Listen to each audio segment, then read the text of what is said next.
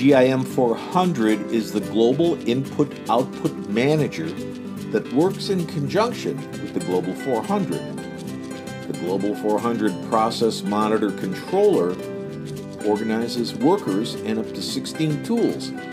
It also manages up to 100 jobs and 100 parameters. The Global 400 receives direction from the MES via the Ethernet, and it speaks both Open Protocol and Ethernet IP.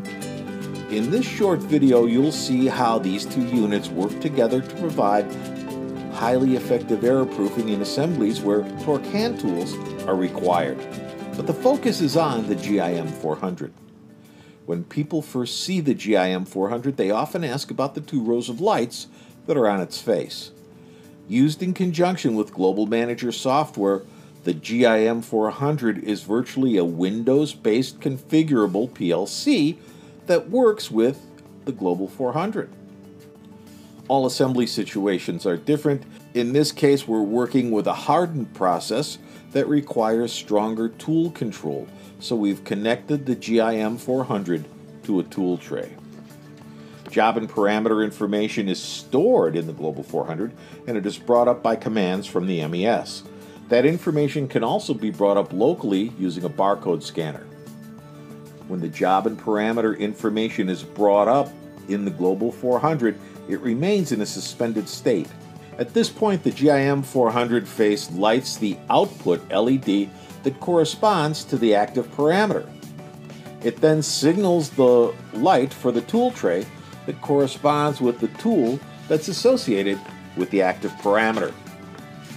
If the operator selects the wrong tool, the Global 400 remains in the suspended state and no work can be accomplished or documented.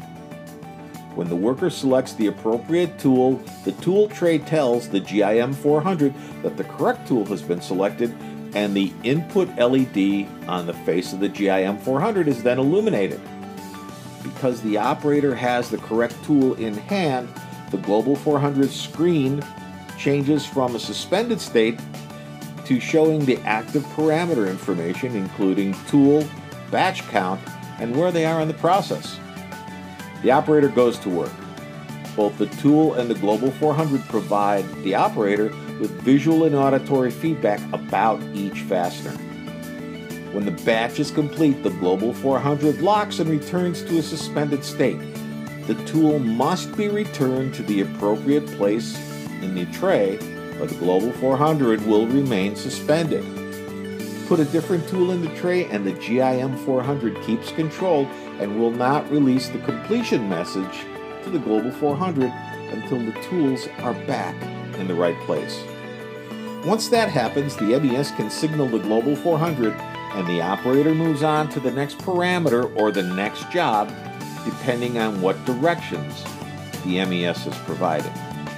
This video has literally just touched the surface of the capabilities of the Global 400 and the GIM 400 error proofing power duo.